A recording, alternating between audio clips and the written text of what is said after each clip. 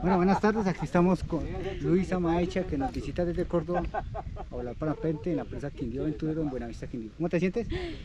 Bien, bien, nerviosa. Tengamos pero aquí bien. un chequeo de seguridad. 1, 2, 3, 4, 5, 6, 7, 8, 9, 10, 11. ¿Preparada?